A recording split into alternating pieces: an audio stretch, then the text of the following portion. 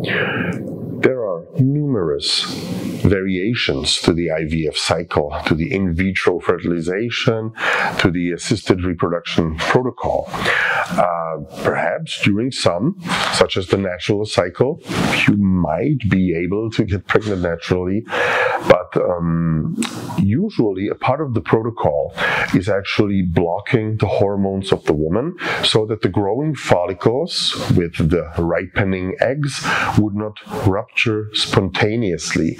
We need to prevent this from happening. You know, this is natural spontaneous ovulation so that we can actually uh, harvest the eggs during the oocyte pickup. And there are various medications that are uh, applied, uh, some even prior to the stimulation, but usually it's during the stimulation which affect that. So during the stimulation itself, that would be uh, quite unlikely because we uh, mix and uh, play a little with these hormones.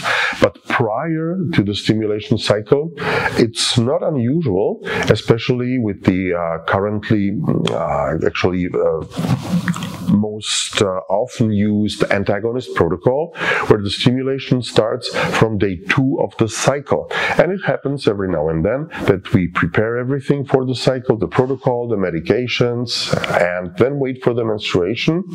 Sometimes the menstruation doesn't come. Sometimes the couple actually gets relaxed. They stop to try. They feel, okay, now we're in the hands of the physicians or of the specialists and let's just wait what happens. And sometimes this relaxed attitude leads to the spontaneous uh, fertilization or conception.